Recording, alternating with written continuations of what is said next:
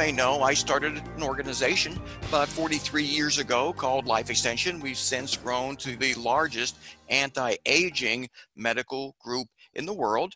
And back in 2016, we had our first RadFest, and about a thousand people attended. It was an incredible event. We've had them every single year. And last year, we had, again, about a thousand enthusiastic people who did not want to age. They wanted to find ways to reverse their aging process. But what a lot of people don't realize is the ancillary benefits when a thousand people get together in one room and learn that there are scientific methods to intervene into the aging process. This may be a coincidence, but two days after RadFest ended last year, an announcement was made about a $25 million donation, $25 million donation to the University of Miami to do stem cell research. And it's events like RadFest that motivate wealthy people to put up money to support biological research aimed at reversing aging in people. And this includes the federal government.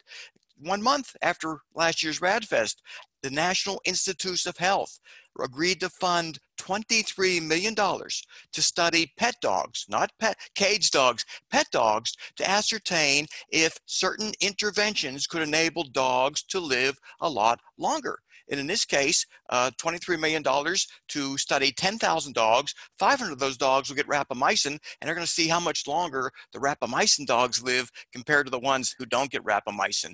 And the media, they're giving us continuing favorable coverage about our rebellion against aging and death. If we didn't have these annual RadFest events where a lot of media attends, they wouldn't realize there's a lot of people out there who want to live a lot longer than what nature has in store for us. Now, I gave a talk at an Reversal conference in Palm Beach early December. A lot of people were there, including Liz Parrish and Bill Andrews, Jesse Ventura, a lot of people you may know. And I thought it was a good turnout. Over 300 people turned out for this event, but Newt Gingrich was there. And one month later, Newt Gingrich writes an article about age reversal about enabling people to grow younger, and it got into Fox News where millions of people read about it. So by us getting together and having these conferences, we inspire others to put on conferences, others to talk about it, and as a result, we're seeing some incredible, incredible advances. National Institutes of Health donated $68 million to a study that's going to identify why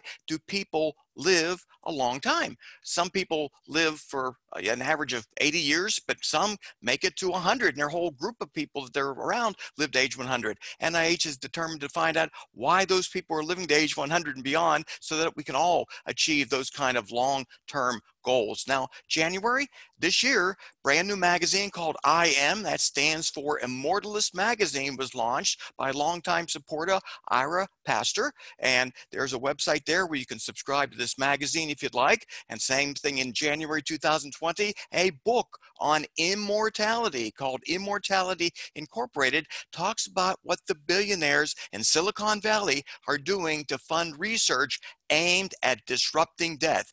Their objective is to find a cure for biological aging so that they can find a way to live for indefinite periods of time. We're very grateful for that kind of research being done. And the author of the book, Chip Walter, he's going to be speaking at this year's RadFest. So we're going to get to hear some inside stories about what's going on with the Silicon Valley billionaires and the many research projects that they're funding right now. And again, when a book is written, when conferences are held, the media pays attention. CNBC did a very nice story in February about the various projects going on right now to defeat biological aging. It's absolutely incredible the amount of favorable media coverage that's occurring because of the good work that's being done at RadFest and the many, many other organizations. Now, back in 2015, the FDA approved the first anti-aging drug study. First time in history that a drug was going to be studied to see if it could reverse or delay aging in people, but problem was funding. No one ever thought the money would manifest. Well, guess what? In 2019, they raised the money, and $40 million of that came from an anonymous donor. That's a very intelligent, wealthy person, by the way, to put 40 million of their dollars into a study to make sure that the metformin that we're all taking for the most part, is it really going to extend healthy lifespan? We'll know in the next three to five years, but the great news is wealthy people are writing checks, are supporting research. And this was a major, major milestone to have that happen.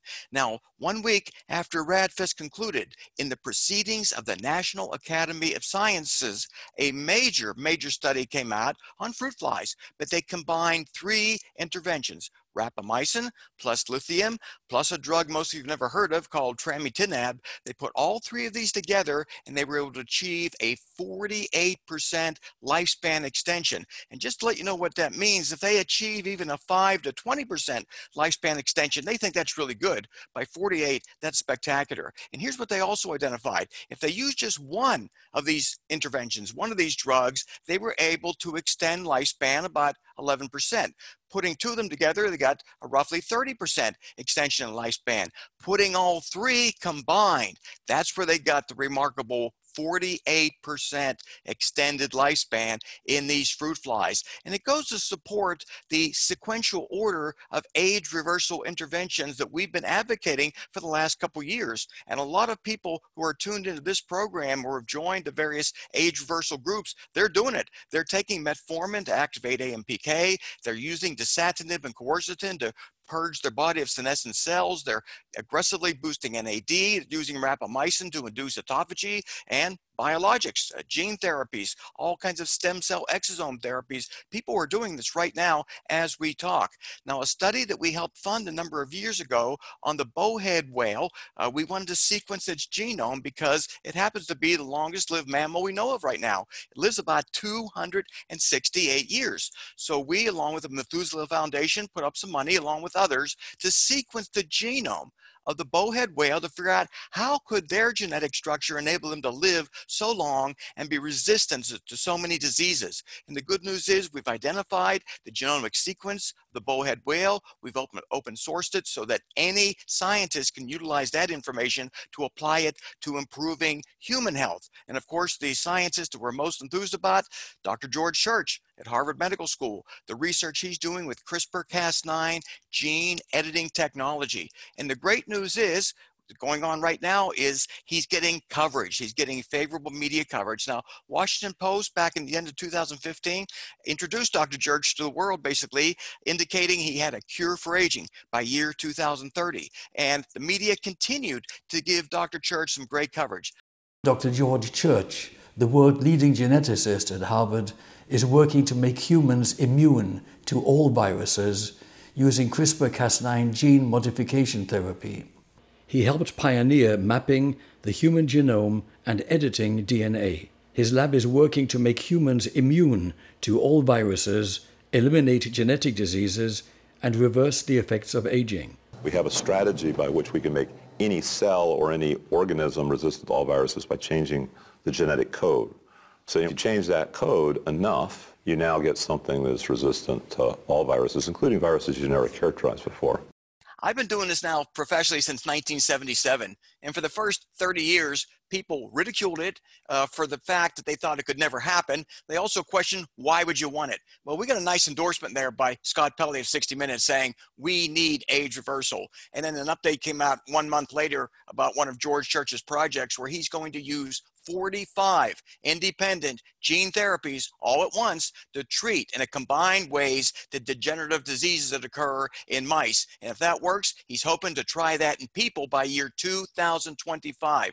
This is unprecedented speed at which this science is evolving. But the problem for a lot of us is, are we going to be alive in 2025 or 2030? None of us really knows. But in the New England Journal of Medicine, December 26, 2019, an incredible review was done on the animal and human data showing the benefits of intermittent fasting. Now, at this year's RADFest, I'm going to do an elaborate presentation on how you can fast and do it in an easy way and benefit yourself in all these different ways and more. But if you haven't read this study in the New England Journal of Medicine, I've got a web link to it right at the bottom of the screen. You can read the story at your leisure and realize intermittent fasting is a potential way of you living many years longer to benefit from the CRISPR-Cas9 technologies that George Church is implementing. And just last week, Wall Street Journal published something that was just uh, one of these uh, hypotheses in which certain scientists, leading scientists, are debating when will people start living to 100 years of age and beyond? Well, by the end of the century. Great news for people born in year 2000, 2005, but we need to accelerate this technology. But it's always nice to see experts who truly are experts as it relates to aging know that by the year 2100, lifespans of 100 years or more will be expected. They'll be commonplace. But this is why it's so important we accelerate research now. Michael Rose, possibly one of the most prominent scientists who does animal research to delay aging and even reverse it. And he's always been a little skeptical as to how long it would take for people to achieve this. And I guess to some extent he still is. But he's rather convinced 100 years from now, physicians will have the capacity to keep people alive indefinitely. We're that close to achieving indefinitely extended healthy lifespans, and we need to accelerate that more, of course. And these are the problems that we run into. People who have the money to rapidly fund lots and lots of studies. They're aging, they're getting sick, and you would think if you're dying of congestive heart failure and you've got $20 billion, you'd put a lot of money into aging research because if you reverse aging, you can reverse heart failure. He's dead. $20 billion, someone else has that money. It's kind of ridiculous that more money is not being put into this cause. One of our objectives is to continue to raise funding to support this research. We don't have time to delay age reversal. Too many of our supporters just aren't around anymore. Uh, we started, by the way, our life extension group in 1977. You can imagine some people were very healthy at age 50 and 60 in 1977. Well, they're not around anymore. So the dilemma that we face today is that we fund a research study We've done it on NAD infusions. We've studied senolytics with like dasatinib, quercetin combinations. We're doing lots and lots of human research studying typically one pathway. But what we need to do is create a longevity network where we combine all of the pathways. So the solution to the current problem where we can extend lifespan a little bit, mitigate some diseases a little bit, is to create a cocktail of calorie restriction mimetics and a couple non-CR mimetics in a way that we can induce a significant impact on the diseases of aging and on the aging process itself. So our Vitality and Aging Research Group, we're seeking to merge all these pathways into practical longevity networks. And practical means what you can implement today to delay and reverse your aging process. These are the age reversal interventions that we can implement right now. We have the technology to do everything you're seeing on the screen right now, and that's what we plan to incorporate into our vitality and aging research initiatives. The first step, the longitudinal study. This is open to everybody. They can join this. They get initial blood workup done, and then we follow them forever, we hope. Our objective is to provide them with information that they can utilize to stave off aging, stay alive long enough until CRISPR-Cas9 technology that George Church and others are working on will enable them to live for an indefinite period of time. But what we're going to do is select out of the longitudinal people uh, those to participate in the interventions trial. And that's the one that's fully funded right now. We raised all the money we need to fund it. So the participants in the interventions trial get lots of diagnostics and they get lots of medications at no cost. We pay for everything. So what happened last year is we tried to raise over $500,000. Good news is we raised 682 thousand dollars for our vitality and aging intervention study. Uh, that funding came from our Human Age Reversal Project charity from myself and donations of physicians' time. Lots of doctors and PhDs and research scientists, they're donating time to make this study real. It's fantastic. So if you want to sign up for the Vitality and Aging longitudinal study, you can do it online right now, vitalityandaging.org. You can see it right at the bottom of this slide. But just to let you know what we're doing, uh, we signed up at RADFest 2019, and since over 400 people, we're looking to sign up well over a thousand people, which at the rate we're going, which is going to happen, and then we're going to follow them for at least 10 years, though ideally indefinitely. Our goal is to never let anyone in the study die. That means we've got a, got a big job in our hands. If they start developing certain problems, we need to find a way to circumvent it. If you're part of this longevity uh, study, this longitudinal study, then we're going to help you. You're going to be go, go to the top of the line, the front of the line, I should say, as relates to what we want to do. So what we're seeking is to capture robust data as to how effective these interventions aimed at delaying and reversing aging are really working. So we're putting together all kinds of statistical models so that every bit of data that's entered into our system is utilized. We can utilize it both with AI and with our group of people. We have a full-time staff right now that's overseeing this project. Many, many tests are going to be done whether you're in the longitudinal study or on in the interventions trial, we're going to identify what your biological age is today and see how much we can reverse it with the different interventions we plan to employ. And these are technologies that are available right now. That's the fantastic news about it. We don't have to wait a long, long time. So we've expanded this, especially in light of the fact that people want to stay home at the current time. We've enhanced our ability to enroll people through electronic informed health questionnaires. So you can do a lot of this remotely right now, enroll in the study without even leaving your home, but at least get into the project and know that you'll be getting updates via email. So this is pretty much what's involved in enrolling in the longitudinal study. You can look at this online uh, at that age dash reversal.net website and see what we're doing to accelerate this research right now. And the people who enroll in that longitudinal study, we're going to select 30 to 50 of them for the interventions trial. This is where we provide at no cost lots and lots of visits to doctors, the ability to access medications, medications that some people can't even access right now.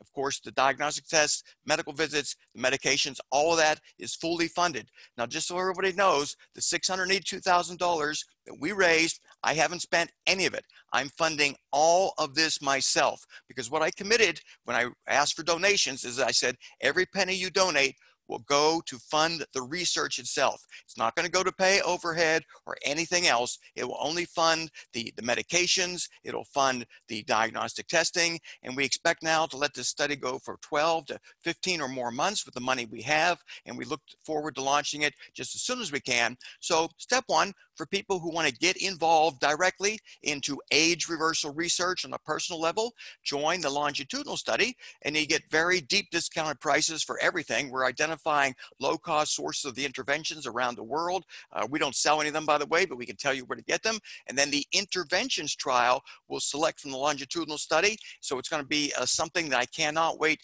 to get up off the ground. This is where you can donate money to. The more money we have, the more interventions we can do. So step one, the longitudinal longitudinal study that makes you eligible for the interventions trial. And these are the interventions that we intend to incorporate right away. And then we will add more. As we add more years and decades to the lifespan of the study participants, we'll have access to more and more interventions. I'm going to conclude the billionaires, the ones who had a lot of money, dead. I can't imagine having $4.3 billion and not using that money to stay alive. And you may say, well, this individual is 78. He died of COVID. Well, had he funded some of our stem cell enhanced therapies that we were trying to raise money for four years ago, stem cell mobilized young blood from bone marrow of healthy young donors, we think we could have reversed immune senescence. This individual could have been alive today. He didn't put any money in like most people didn't. That study is going very slowly, by the way. But the idea is people with a lot of money aren't spending it. This individual, one of our founding members, he died at the young age of 99, and he motivates me almost every day I see his picture. And I realized he would have loved to have been around to gain access to these therapies. He died way too young. I need to work harder to make this a reality. The drug rapamycin, in addition to other drugs, comes up a lot with regard to age reversal. But what are its implications and effect in the treatment of COVID 19 patients? Can you speak to that? Yes, I can. A number of people have made comments, and I've seen people argue for the use of rapamycin and against it. Now, what I've been doing aggressively is intermittent fasting. I go pretty much 16 to 18 hours most days without eating anything. And sometimes I'll do a day or two complete fast in the week. And I'm, I'm mimicking some of the benefits of rapamycin by doing that. And so I'm not taking rapamycin myself because I'm doing such aggressive calorie restriction. But I can't argue against the people who are proponents of rapamycin and metformin and a number of other interventions to potentially boost immune function. But I think so much of it depends on the individual. If you are overeating, if you are overweight, I think you can benefit from the metformin, rapamycin, the other mTOR inhibitors. But if you're like me, I mean, I'm normal weight. Uh, some people say I'm real thin. I just happen to be normal weight, and I'm under eating. I don't think I need to rapamycin, and I'm doing a lot right now to boost my immune system, as you can imagine. Uh, so I don't have a definitive answer for that, but it maybe depends on the individual. If you are overweight and have a lot of comorbidities such as diabetes, hypertension, all the problems that overweight people often suffer from, rapamycin might help you. Bill, does rapamycin make one more vulnerable to the coronavirus? Well, here's the issue. Rapamycin is going to turn down M mTOR. That's the mechanistic target of rapamycin. Now that theoretically could shut down some of your bone marrow function. That is a legitimate issue. But for a lot of people, they're overweight, they're consuming too many calories, they've got mTOR levels so high that that's impeding immune function also. There is a study in which rapamycin was given to elderly people and they produced a stronger antibody response. And that is so critical when it comes to the COVID virus. When it comes to COVID, uh, you want to produce antibodies. Older people don't do that very well. So rapamycin may be something good in that specific regard. That was only one study though, and we need a lot more research to validate what is really the best path to go forward with as it relates to rapamycin and COVID. Great. Is, uh, there's a question here about uh, uh, dasatinib quercetin protocol. Um, I guess I just sort of want to know what's the latest thinking on that. Well, the latest thinking on how often to use the dasatinib quercetin protocol is probably to do it more often than what we recommended. We are always we are always very conservative when we make a, a recommendation as to what someone can do. And we initially said maybe every nine to 12 months you want to undergo a, a regimen of the dasatinib and quercetin that's one dose week one and then second dose week two. Maybe every six months people may consider doing that. We know people doing it every three months. So we're probably under recommending uh, what we what the optimal amount of uh, senolytic uh, activity that you want to induce in your body is. So currently we're suggesting people do it nine to 12 months. Once we get these studies up, it's going to be so spectacular. We'll be able to report in real time what kind of benefits we're getting when we start giving people doses of dasatinib and quercetin on a more frequent dosing schedule. Bill, the whole world has mobilized to respond to this coronavirus pandemic. What are your thoughts on this? I believe we have an unprecedented opportunity to transition the fear, real fear, and recognition of your mortality and morbidity risk. We've got an ability to package that as COVID starts to be cured or prevented. We can transition that energy into age reversal research because COVID 19 really, the way it kills people is nothing more than super accelerated aging. I mean, it's causing kidney failure, heart failure, dementia, all kinds of horrific problems, even in people who are not put on ventilators. They're suffering horrific side effects. And so we've got the whole world interested in staying alive. We plan to use that to motivate the world then to support aging research, make that the number one priority. Again, age dash reversal.net. You can see all these slides on that presentation. And I want to thank everyone for their support of Life Extension that enables me to fund lots and lots of biomedical research in addition to the donations we received. Thank you very much.